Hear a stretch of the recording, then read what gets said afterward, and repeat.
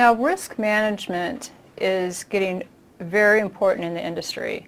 And because of that, the CISSP exam is covering risk management more than it used to. It even changed the uh, name of this domain, uh, uh, added risk management to the name. So we're really going to go into uh, different parts of risk management because not only are you going to get tested on it, but it's something that, that people don't fully understand how to do. And it's again, it's not vulnerability uh, testing. Vulnerability testing just means you could find the holes. It's easy to do that, and then you associate them with threats, and then you've got to calculate the risks. And so we have to look at the people process technology. You know, we've got to look at all of them. Um, and how data is stored, how it's moved. We've got a lot of things that we need to understand. Why is risk management difficult? Why would it be hard to actually carry out? Risk management is difficult because first off, you're trying to read the future. What bad things are going to happen or what could happen and how much is it going to cost us?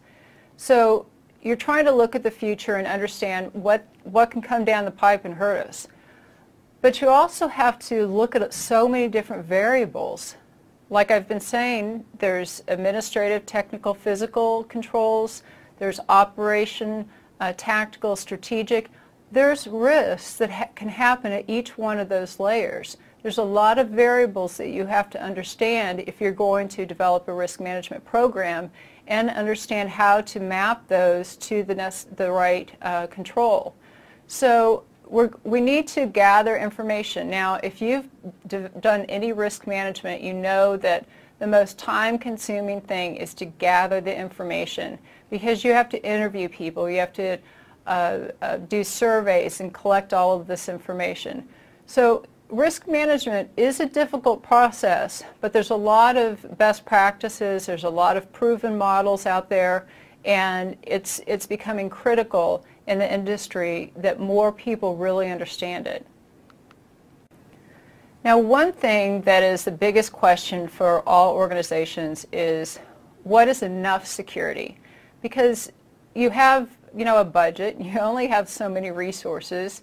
You can't secure everything to maybe the necessary degree that you need to. So what's the enough security? What's our acceptable risk level? And we need to think of a few things. We talked about the legal issues. We talked about the regulations we have to be compliant with. Um, we need to look at our assets. What is it that we have to protect? Uh, how valuable are they? Uh, what type of adversaries do we have? How motivated are they? Uh, what is their motivation? So all of this is, is kind of, we do like a threat analysis to figure out how much is enough security. It's a balance. It's a cost-benefit of balance, and we're going to look at some of those formulas. Now, when you're putting together a risk management committee or a team, this is the group who's going to collect the data uh, and then going to analyze the data to figure out the organization's risk level. Now, what if you had on this committee everybody from IT? That was the whole team. They would only understand risks and vulnerabilities through in, in IT. They wouldn't understand business issues in HR or, or uh, at management levels or, or capital issues.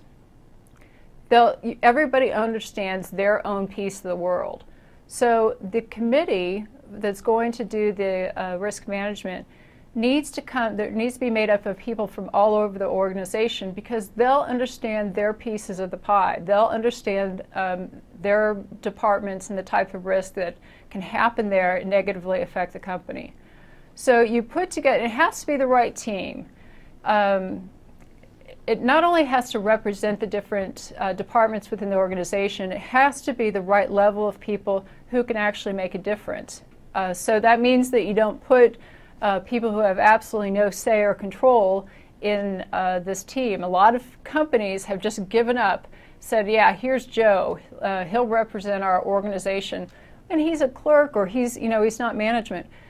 The right team is necessary because they're going to have to um, not only understand risk management methodology, but they're going to have to help uh, enforce or, or, or make changes in the culture, which is the, the hardest part of security. So there's a, a process to setting up a, a risk management program. And a lot of companies will, will think they have a risk management program, but really they have a vulnerability management program.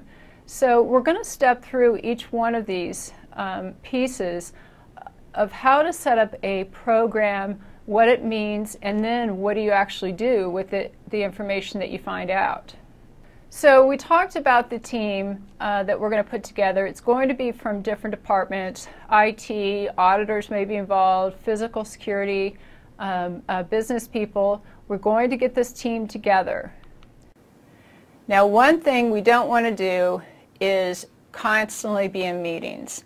And I've worked with companies who try to put a risk um, program together and they don't move anywhere, but they meet all the time.